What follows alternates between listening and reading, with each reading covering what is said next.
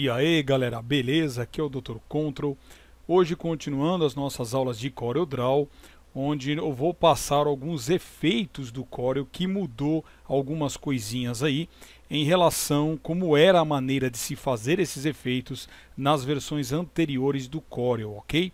Bom, então já estou aqui com o Corel aberto. Lembrando que antigamente, para que a gente pudesse aplicar um efeito em uma imagem por exemplo, no CorelDRAW, ou principalmente em um vetor que você desenha aqui no Corel, é, necessariamente nesse vetor era necessário que você transformasse ele primeiramente em bitmap para que depois você conseguisse aplicar os efeitos do CorelDRAW. Isso foi mudado. Tá? Então o que eu estou querendo dizer é o seguinte, vamos supor aqui que eu desenhe um retângulo qualquer aqui, certo?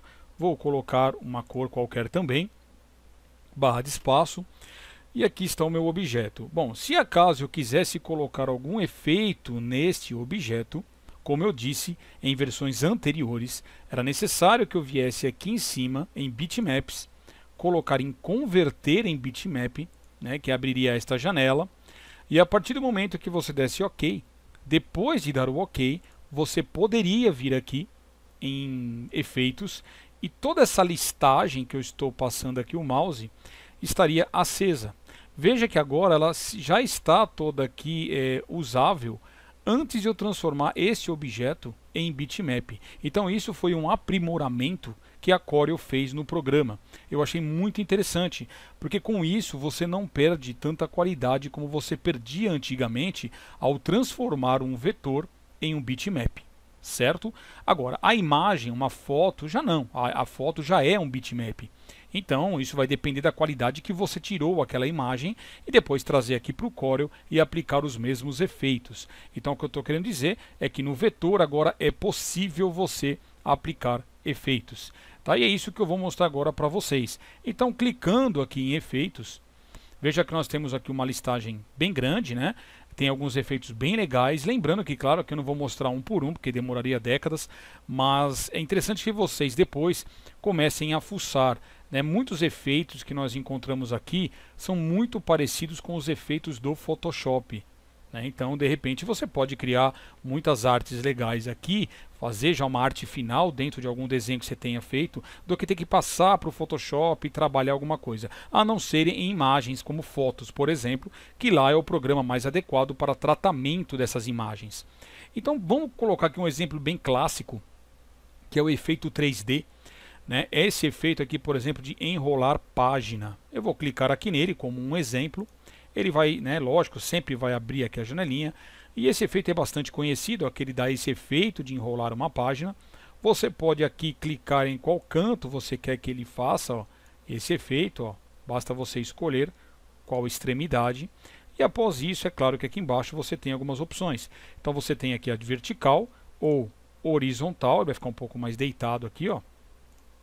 É, você tem aqui o opaco, pode ver que aqui ele perdeu um pouquinho. Ó e a transparência, tá vendo? De acordo com a cor que estiver na parte inferior. Eu acho que aqui nesse caso até o opaco ficou mais interessante. E a cor do enrolamento que você também pode mudar. Aqui está um vermelho, eu poderia muito bem aqui ó, trocar a cor, ó, pode ver que ele já troca na mesma hora, eu posso deixar aqui um meio prateado, que fica bem bonito, ou ainda eu posso usar aqui o conta-gotas, né, para aplicar uma cor igual a esta, ó, do fundo, ó, tá vendo? Você clica aqui, e automaticamente ele já pega. E aqui você ainda pode mudar ó, a largura, né? Você pode aumentar e diminuir esse range, tanto para a direita quanto para a esquerda, o quanto que você quer fazer o efeito de enrolar, e fica bem interessante. Ó. Eu vou dar um OK e está pronto aí o efeito. Ó, né? Então esse efeito é bem legal e foi feito em um vetor.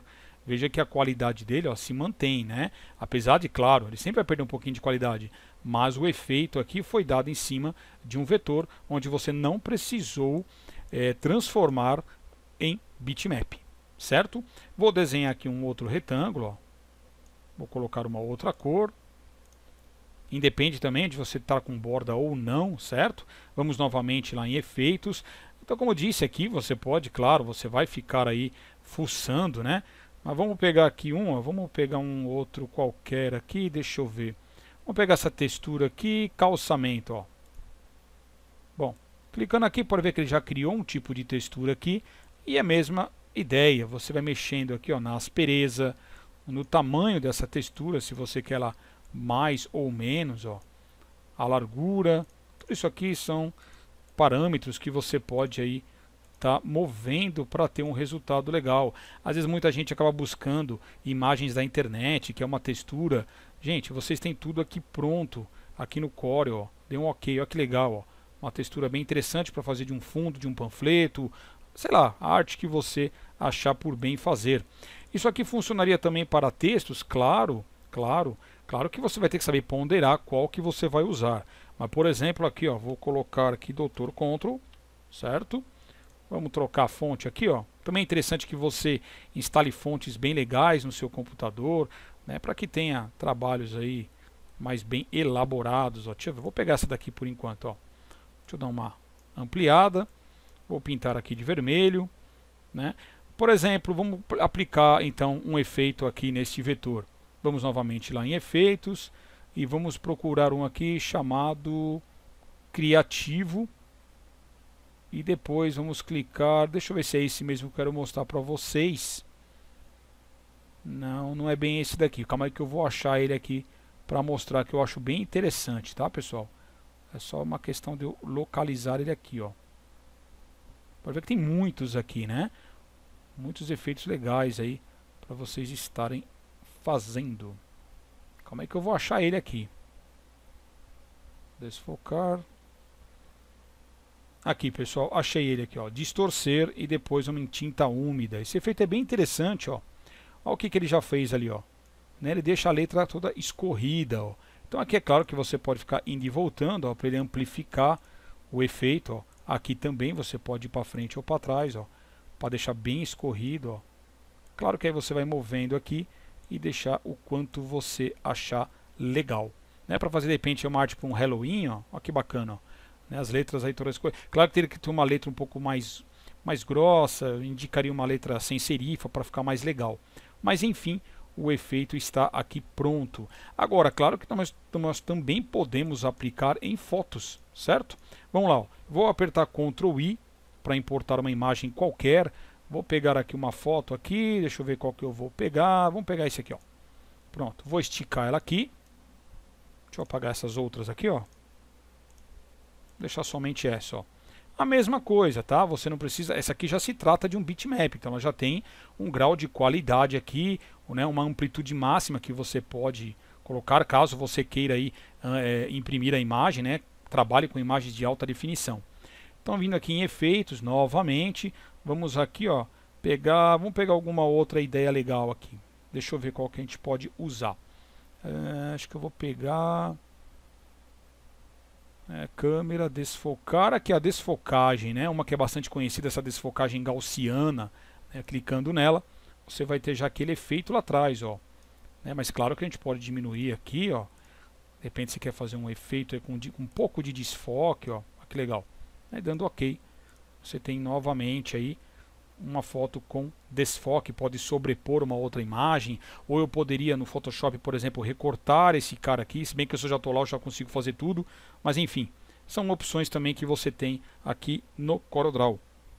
Até inclusive esse desfoque, ele me deu uma ideia aqui, você poderia fazer isso aqui como um brilho, quer ver? Eu vou, eu vou deletar aqui essa imagem, deixa eu posicionar aqui minha tela, Shift F4, eu vou dar um duplo clique aqui no retângulo, vou pintar de preto, e vou desenhar aqui um oval, um oval aqui, colocar a cor branca e tirar a borda aqui, ó, botão direito, certo?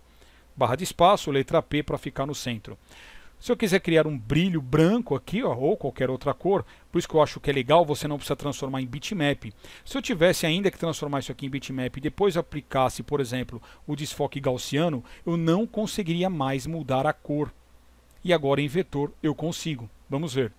Vou aqui novamente aqui em efeitos, desfocar, gaussiano, certo? Ó, aqui então eu vou dar uma esfumaçada, ó, com o intuito mesmo de criar um brilho na parte de trás, ó, certo? Ó, posso amplificar o quanto eu quiser, só tomar cuidado para ele não marcar aqueles retângulos na parte superior, ó. Acho que aqui tá bom. Vou dar um OK. Então tá aí, ó, algo já com uma luminosidade. Se você não quiser, se você não quiser esta cor, Basta você clicar e trocar. Como eu disse, coisa que antigamente não dava para fazer, porque a partir do momento que isso aqui se transforma em bitmap, você não consegue mais trocar a cor, certo? O que eu digo transformar em bitmap é fazer isso aqui, ó. Vou selecionar, vou desenhar outra, ó, colocar aqui uma cor qualquer. Vou tirar a borda. Antigamente tinha que vir aqui em bitmap, transformar, converter em bitmap e dar um OK, certo? A partir de agora isso aqui é uma foto. Veja que agora eu não consigo mais trocar a cor. Estou clicando aqui e não consigo trocar a cor. Então, legal desses efeitos que agora eu posso aplicar aqui e depois eu posso ainda ó, alterar, fazer o que eu bem entender. Tudo bem, pessoal? Então, espero que vocês tenham entendido, tenham gostado desta videoaula. É, não esqueçam, então, pessoal, de curtir, de favoritar e também de se inscrever no canal. É, o meu canal, não sei se todos sabem, mas ele foi hackeado, já tem vídeo meu aí explicando. Eu ainda estou aguardando uma resposta do YouTube para ver se eu vou conseguir recuperar os meus 17 mil inscritos. Então, se você é, ainda não é inscrito ou se era inscrito, verifique por favor a sua inscrição, tá? Para voltar aí esse tanto de gente que eu tinha, um pessoal bacana que estava acompanhando o meu canal. Tá? É, eu lamento muito o que tem acontecido. Eu perdi muitos vídeos. Teve gente aí me cobrando, perguntando cadê vídeo tal, isso e aquilo. Mas infelizmente, com esse hacker, eu acabei perdendo muitas coisas. Estou tendo que regravar algumas aulas.